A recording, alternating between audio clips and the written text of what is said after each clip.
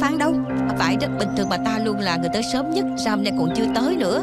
Có thể bà ta đã phát tài, không cần tới nữa. Cô gái thiên nhãn xuất hiện rồi Cô gái thiên nhãn xuất hiện rồi Cô gái thiên nhãn Cô gái thiên nhãn Cô gái thiên nhãn Cô gái thiên nhãn Cô gái thiên nhãn Ờ cô gái thiên nhãn Cô gái thiên nhãn Sao rồi Cô gái thiên nè Mọi người đừng có xô lấn Nè mỗi người lấy một số Theo thứ tự Mọi người cứ việc xếp hàng đi Chị à Dạ lên dạ lên xin hàng đi Gieo nhân thiện gặt quả lành Mọi người đến đây quyên góp Sẽ có được sự chúc phúc của cô gái thiên nhãn Một bánh bao bình an Và một sợi dây bình an. Gia trẻ bình an. Cảm ơn cảm ơn. À cảm ơn. Gia trẻ ơn, bình cảm ơn. an.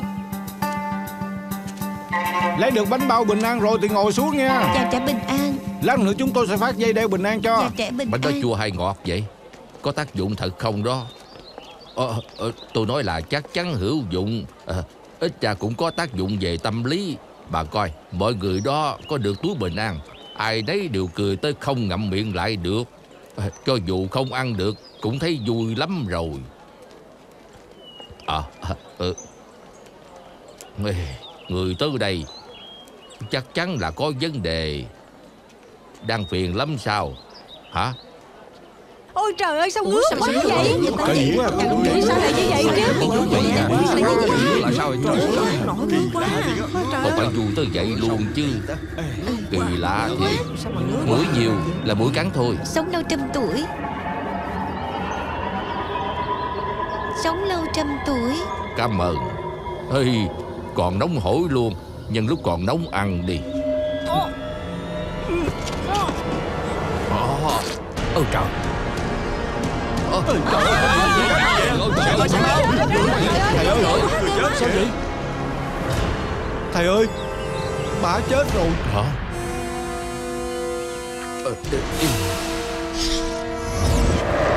Theo ghi chép của bệnh viện, nạn nhân Lý Nguyệt Nga bị ung thư phổi thời kỳ cuối. Thông thường người bị bệnh nan y thường chạy chữa lung tung. Không ngờ hôm đó cô gái thiên nhãn vừa chúc bà ta sống lâu trăm tuổi, bà ta phát bệnh thổ huyết tử vong luôn. Dù nạn nhân bị ung thư Nguyên nhân tử vong cũng chưa chắc là do phần ung thư bị dở thổ huyết mà chết. Có thể là do căn bệnh khác tái phát. Buổi lễ cầu phúc có người đông chen lấn, nói không chừng là do bệnh tim phát đó. Sẽ biết được nhanh thôi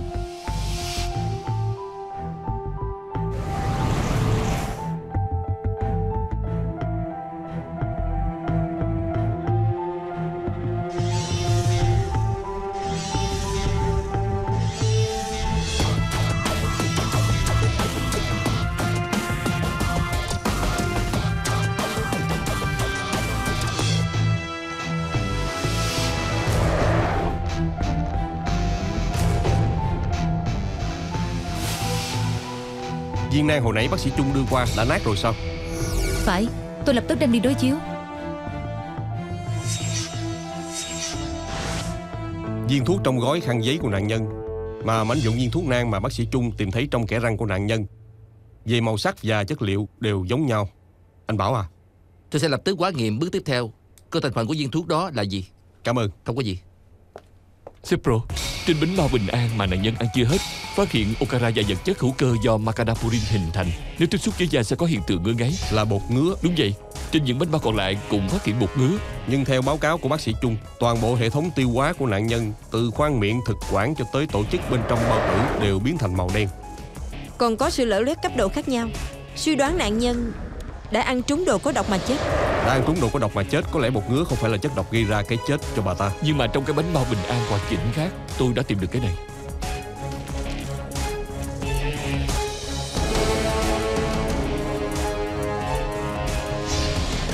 Bà Phan Mỹ Dân Đồ đệ của quan minh cư sĩ là Từ Thạc Đã chính mắt nhìn thấy bà trong buổi lễ cầu phúc đó Lén lút đi tới đi lui tại thần đàn. Tôi sống ở trong thôn đó mà Đi tới đi lui ở đó có gì đáng ngạc nhiên chứ? Chúng tôi đã kiểm tra bánh bao bình an hôm đó đã bị bỏ bột ngứa Là bà làm phải không? Đương nhiên không phải rồi. Đừng đủ quan cho tôi nha. Nhưng chúng tôi tìm thấy trên một trong những bánh bao bình an đó Tìm được một viên đá màu. Đem so sánh với những viên đá màu gắn trên móng tay bà Thì sẽ biết có đủ quan cho bà hay không. Là tôi bỏ bột ngứa thì sao chứ? Ai biểu thần côn quang minh cư sĩ đó quá đáng như vậy? Mỗi lần tôi giúp ông ta đều tốn rất nhiều công sức Tốn rất nhiều nước miếng Vừa khóc vừa quỳ nữa đó. Bà nói quan minh cư sĩ thì bà đóng kịch. Không có tôi giúp ông ta thổi phồng cô gái thiên nhãn linh nghiệm như thế nào Thì làm gì có nhiều người tin họ như vậy chứ? Quang minh cư sĩ vốn dĩ là khẩu Phật tâm xà Kêu người ta gieo nhân thiện Gặt quả lành Nhưng tiền thì chạy hết vào túi của ông ta. Tôi giúp ông ta kiếm được không ít tiền. Bây giờ nổi tiếng rồi thì muốn đá văng tôi ra ngoài sao? Mới qua cầu mà đã muốn rút dáng. Cho nên tôi bỏ bột ngứa vào bánh bao bình an Cho ông ta hết đường làm ăn. Bà đã giúp quan minh cư sĩ đóng kịch thế nào? Mới đầu là giúp ông ta gạt chị Phát. Thần côn đó kêu tôi nhân lúc đánh mặt trượt ở nhà chị Phát Lén đem giấu cái nhẫn vàng của chị ấy.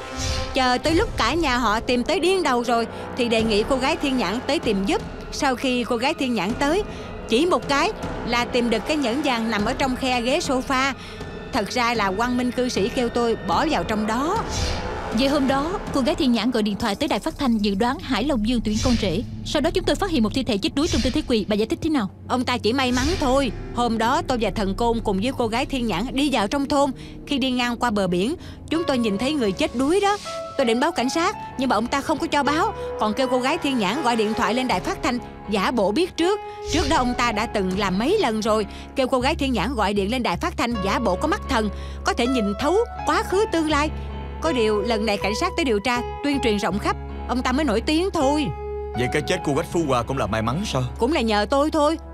Con trai tôi có một lần đi uống rượu Nhìn thấy bà Quách thân mật với một người đàn ông. Nó quay về nói cho tôi biết. Tôi mới nói cho thần côn đó biết bà Quách có nhân tình.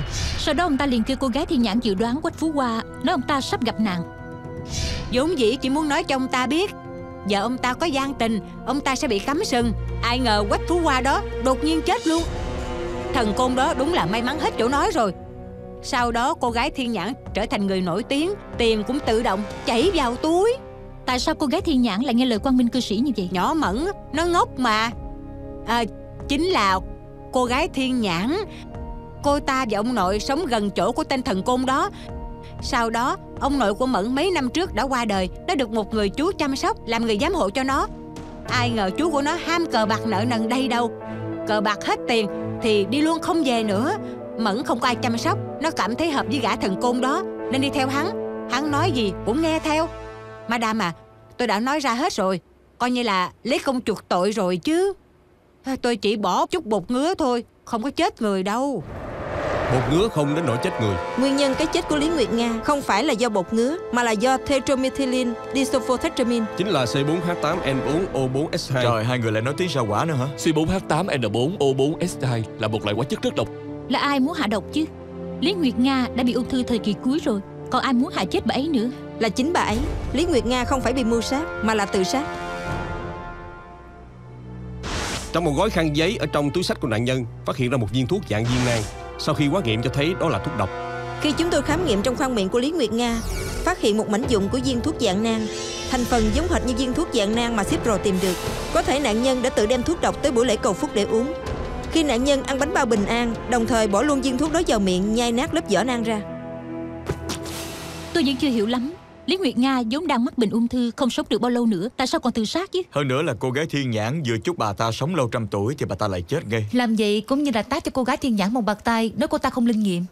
Mấy ngày hôm nay báo chí thay đổi rồi. Nói cô gái thiên nhãn là kẻ lừa gạt Cầu phúc biến thành tạo nghiệp Máu nhuộm bánh bao bình an. Đó có thể là mục đích của Lý Nguyệt Nga. Cô muốn nói là bà ta lấy cái chết để chống đối cô gái thiên nhãn. Đối tượng có lẽ là cư sĩ Quang Minh. Tên thần côn đó giả thần giả quỷ Chắc có rất nhiều kẻ thù. Đừng chỉ đoán thôi Đi hỏi thần côn đó sẽ rõ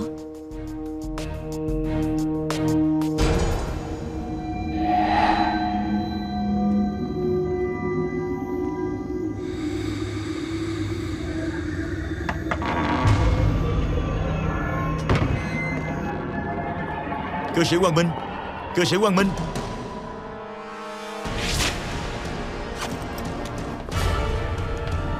Đi đi!